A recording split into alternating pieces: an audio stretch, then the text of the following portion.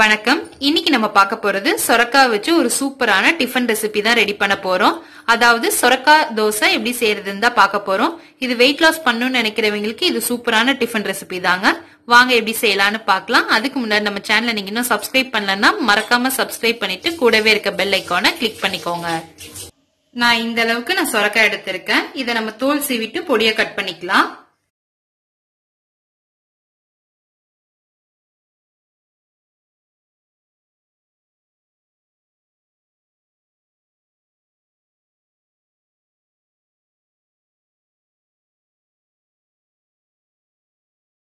அடுத்து ஒரு mixie jar எடுத்து அதுல நம்ம கட் பண்ணி வச்சிருக்க சொரக்காவை சேர்த்திடலாம்.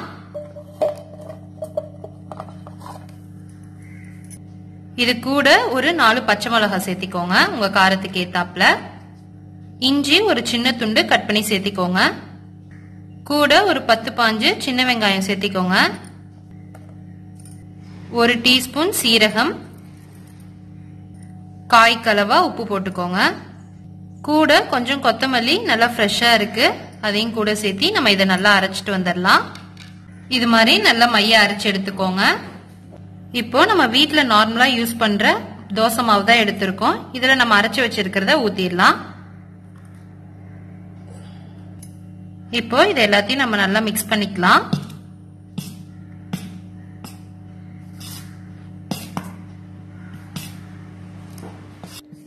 இது மாதிரி நல்லா கலந்து எடுத்துக்கலாம்.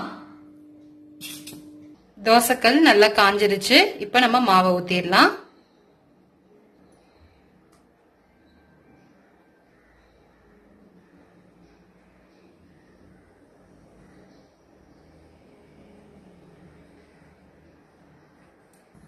சுத்தியும் லைட்டா எண்ணெய் ஊற்றுக்கலாம் நல்லா வேகட்டும். மீடியம் ஃப்ளேம்லேயே வச்சு நல்லா வேக விடுங்க. இப்போ நல்லா வெந்துருச்சு. நம்ம திருப்பி போட்டுக்கலாம்.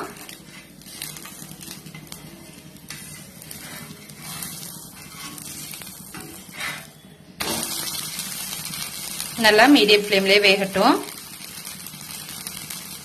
அவ்வளவுதான். வெந்துருச்சு. நம்ம எடுத்துடலாம்.